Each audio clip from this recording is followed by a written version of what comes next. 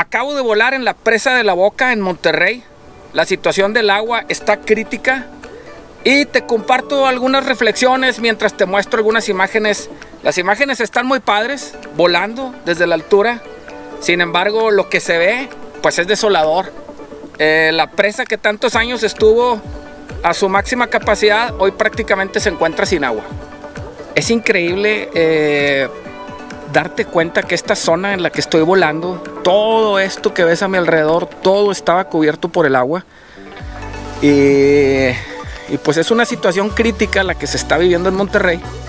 Aunque yo vivo en Saltillo, pues mis papás, mis hermanos, mis compañeros de trabajo, amigos, pues tengo un montón de familiares y amigos en Monterrey que la están sufriendo. Las cosas se han ido agravando de tal manera que al principio había cortes de agua algunos días y ahora realmente en algunas zonas de la ciudad son solamente algunas cuantas horas a la semana en las que tienen agua. Y hay zonas que entiendo que siguen totalmente sin agua. Se han puesto algunos tanques en algunas zonas para que la gente pueda ir y agarrar agua.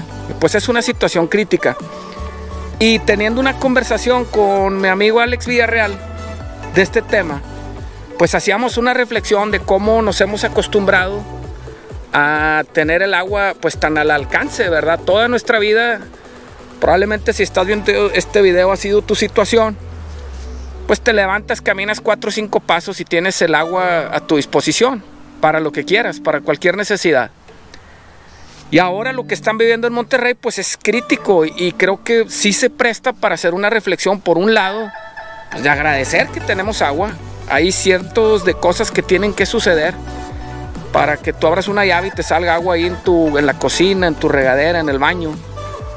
Y, pues ahorita que nos está escaseando, pues es cuando nos damos cuenta y podemos apreciar eso y agradecerlo. Seguramente la situación se va a resolver. Seguramente el problema en unos meses va a quedar atrás. Vamos a volver a tener agua.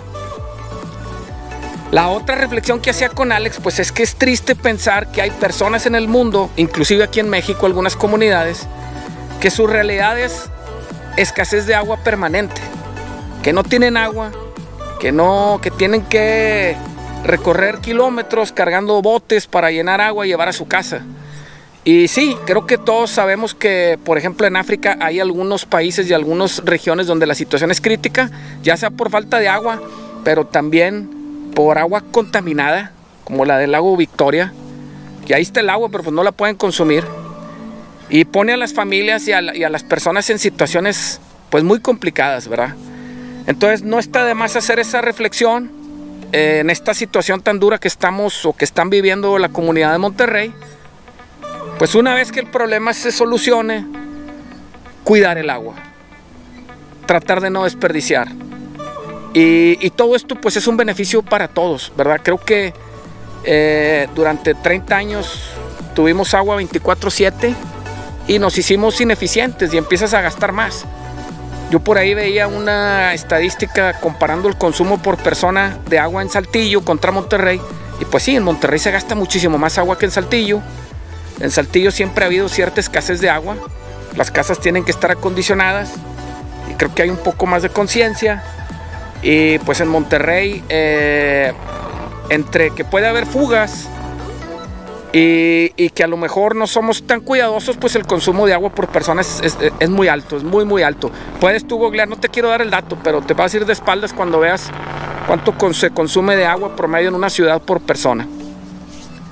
Pues bueno, ánimo, hay que resistir. Esta es la situación que tenemos. Tenemos una gran facilidad para adaptarnos, salir adelante, superar obstáculos. Entonces, pues es una estar conscientes que afortunadamente es una situación que seguramente va a ser pasajera y que pronto se va a solucionar.